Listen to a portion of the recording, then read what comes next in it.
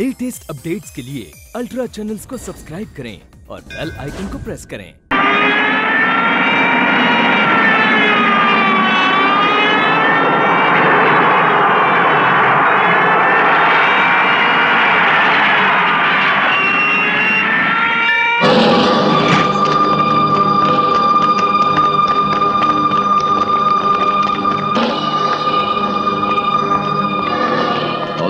उतारो उसे। Yes sir चल बे उतर नीचे। क्यों बे? सुनता नहीं क्या? उतर नीचे। साला, तेरी तो।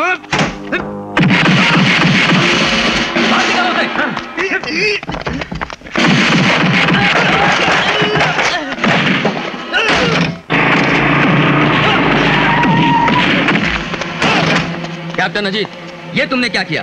पहले तुम कानून के मुजरिम हो। और ऊपर से पुलिस पर हाथ उठाते हो। इसका अंजाम क्या होगा मालूम है तुमको? अंजाम की परवाह करने वाला ये कैप्टन अजीत सिंह नहीं है। अगर मैंने जुर्म किया है तो उसकी सजा भी भुगतने के लिए मैं तैयार हूँ। मगर अपनी तौहीन और बेइज्जती मैं बिल्कुल बर्दाश्त नहीं कर सकता। आपके हवालदार को बदतमीजी का सबक सिखाना ज़रूरी था। इसलिए मुझे ऐसा करना पड़ा।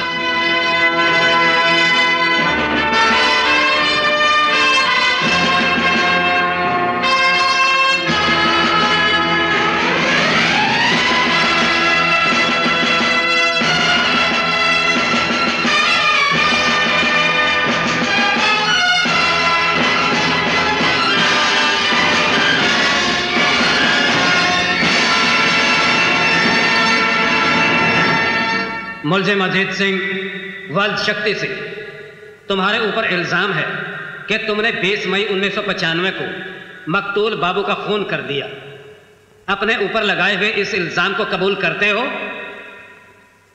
यस योना मैंने बाबू का कत्ल किया है।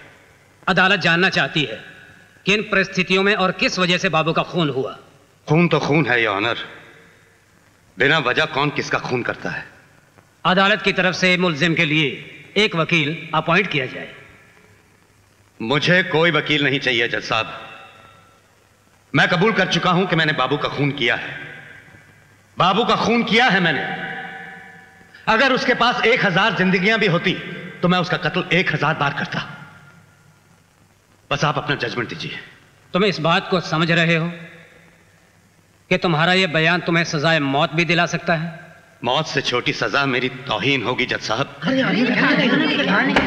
ऑर्डर ऑर्डर मुजरिम अजीत सिंह वल्द शक्ति सिंह ने अदालत के सामने अपना जुर्म कबूल किया है कि उसने मकतूल बाबू का खून किया। अदालत मुजरिम अजीत को जेर दफ़ा 302 के तहत सजाए मौत का हुक्म सुनाती है।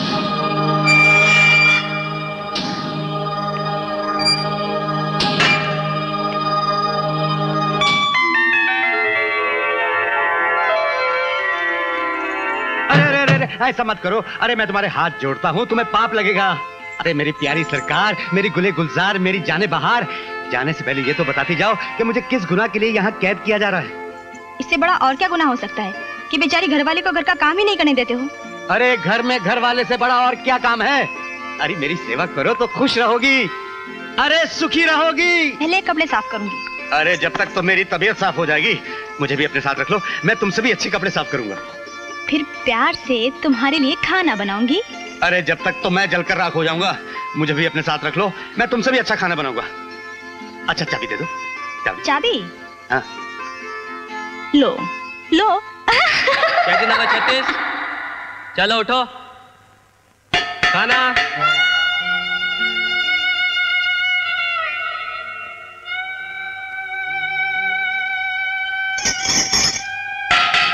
लो खाना।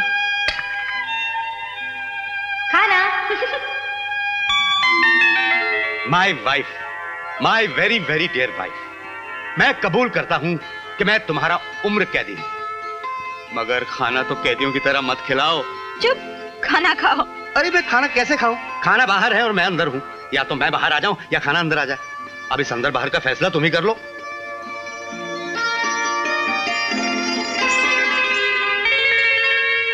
हाय जाने मन जाने जिगर जाने तमन्ना। स्वीट हार्ट ये क्या बदतमीजी है? तुम हमारे दिलो दिमाग में उतर गई हो। और जो चीज़ हमारे दिल में उतर जाती है हम उसे हासिल कर लेते हैं। प्यार से या फिर ज़बरदस्ती। छोड़ दो मुझे। चल, चल। मैं कहती हूँ छोड़ दो मुझे।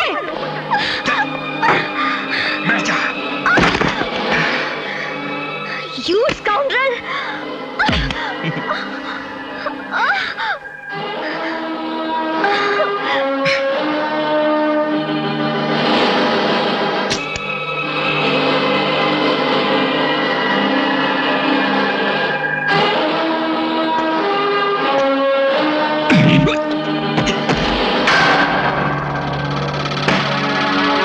जानते हुए भी कि हम दोनों की शादी होने वाली है।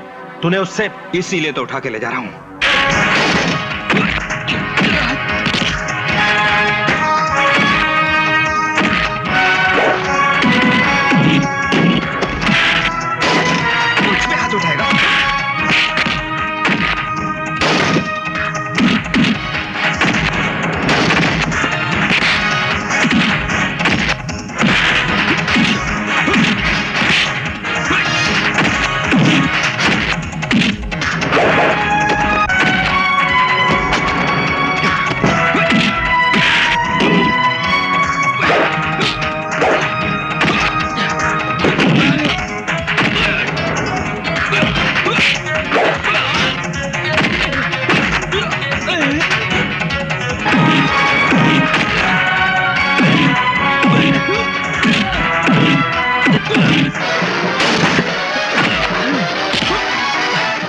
एक बात ध्यान से सुन। आज के बाद अगर तूने सीमा की तरफ़ आँख उठाकर देखा तो जान से मार दूँगा तुझे। मनोज। चलो सीमा।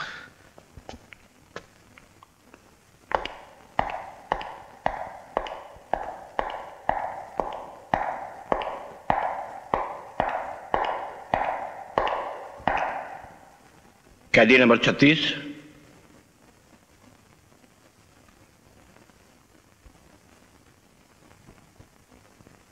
कल सुबह पाँच बजे तुम्हें फांसी दी जाएगी। थैंक यू सर सुनो अगर तुम्हारी कोई आखिरी ख्वाहिश हो तो कहो हम उसे पूरा करने की कोशिश करेंगे। मैं ज़िंदा रहना चाहता हूँ। मरने वाले की और क्या ख्वाहिश हो सकती है? कानून तुम्हारे जीने का हक छीन चुका है। हाँ अगर कोई खास चीज़ तुम्हें खाने की इच्छा हो तो कहो मंगा देंगे। आप मरने वालों से भी मज़ाक कर लेते हैं। ज़िंदगी छीन कर मनपसंद खाने की दावत देते हैं। क्या करें? जेल का रिवाज यही है। वरना फांसी की तारीख सुनने के बाद किसको खाना अच्छा लगता है? ऐसा मत समझना जेलर। कि मैं मौत के नाम से डर गया हूँ। कई बार मौत मेरे सामने आई है और मुझसे हाथ मिलाकर वापस चली गई है। जानता हूँ कैप्टन अजीत। कैप्टन अजीत नहीं। कैदी नंबर 36 का हो। कैप्टन अजीत के कारनामे जमाना भुला चुका है। जब मैंने इस मुल्क की सरहद पार करने वाले दुश्मनों को मार डाला तो सुनहरे तगमों के लिए मेरा सीना छोटा पड़ गया था।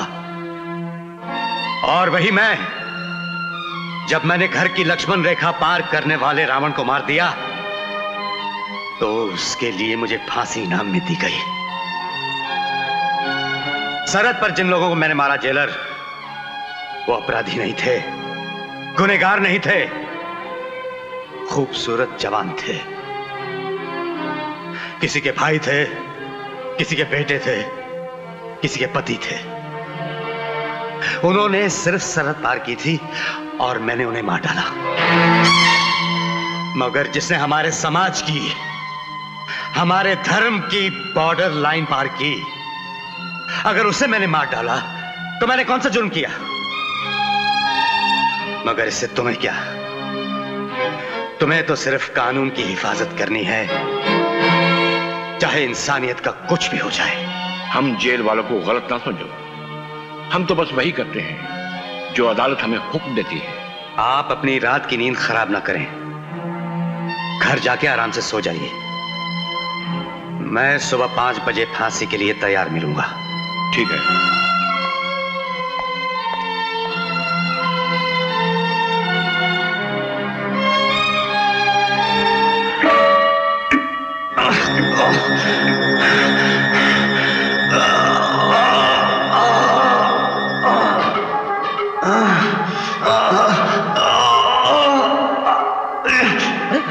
इसको इसको क्या हो गया? इसने तो सर क्यों पकड़ा हुआ है? पता नहीं। मुझे तो लगता है इसको मिर्गी की बीमारी है। पता नहीं, मिर्गी की बीमारी लगती है। मैं तो कई बार देखा भाई यार किसको किसको?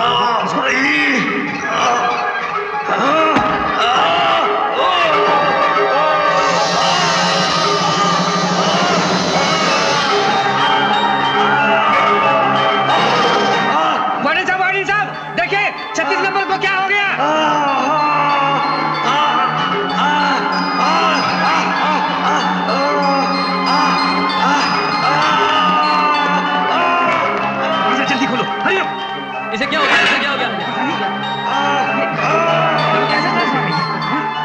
अजीब लाओ मारने लगती है इसको। लो इंजेक्शन दो मेरे को। मेरे को इंजेक्शन दो। अरे जल्दी। हॉस्पिटल लेके क्या शर्मा। सर वो कैदी नंबर छत्तीस का अचानक तबीयत खराब हो गया। चलो हॉस्पिटल लेके चलना पड़ेगा सर। आराम से रखो भाई। चलो ठीक से hurry up hurry up hurry up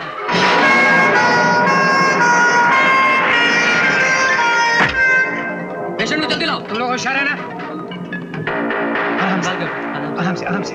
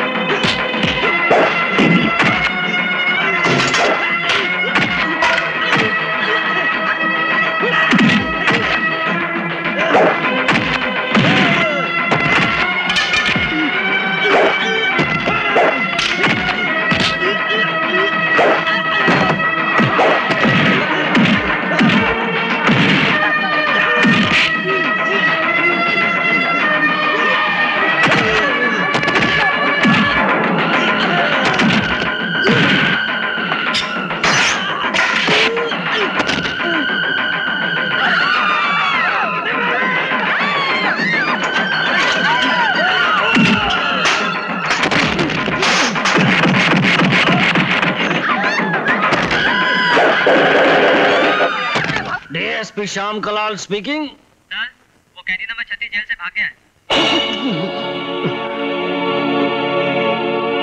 कैदी नंबर 36 जेल से भाग गया है? यस सर ठीक है। अभी पकड़ता हूँ हराम जादे को।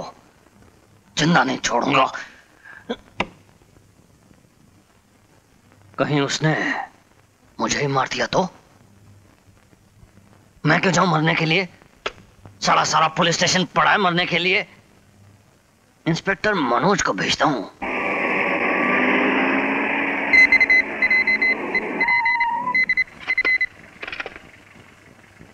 Inspector Manoj Sehgal here. Inspector Manoj DSP Shyam Kalal बोल रहा हूँ। Yes sir. देखो जितनी भी फोर्स चाहिए मैं भेजता हूँ। मुझे कैदी नंबर 36 ज़िंदा या मुर्दा चाहिए।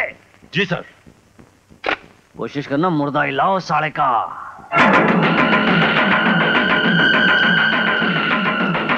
वो रहा पीछे।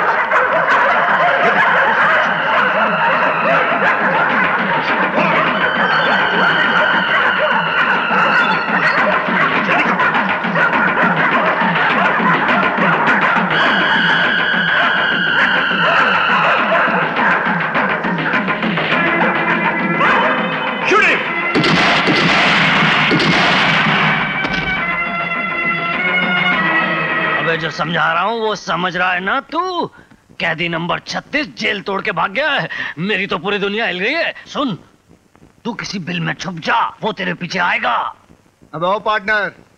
मेरे पीछे आएगा यानी तेरे भी पीछे आएगा ना? अरे मेरे पीछे कैसे आएगा? मैं तो पुलिस वाला हूँ मेरा तो बाल भी बांका नहीं कर सकता। तू समझ गया? गोली लगने के बाद तुझे कौन समझाएगा? छुप जा छुप जा किसी बिल में घुस जा। साला ये वो मेरे पीछे भी तो आ सकता है। सड़ा पुलिस स्टेशन में भी आ सकता है। गार्ड, सो, बाहर पैरा, ठीक है ना?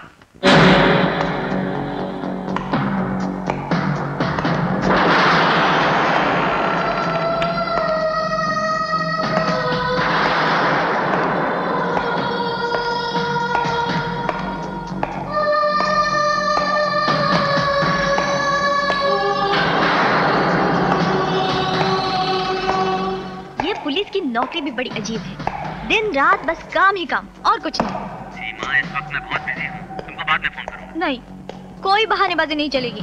तुम्हें आना पड़ेगा। अभी इसी वक्त प्लीज़ सीमा प्लीज़ समझने की कोशिश करो। क्या समझने की कोशिश करो? मैं नहीं समझती कुछ भी। बाय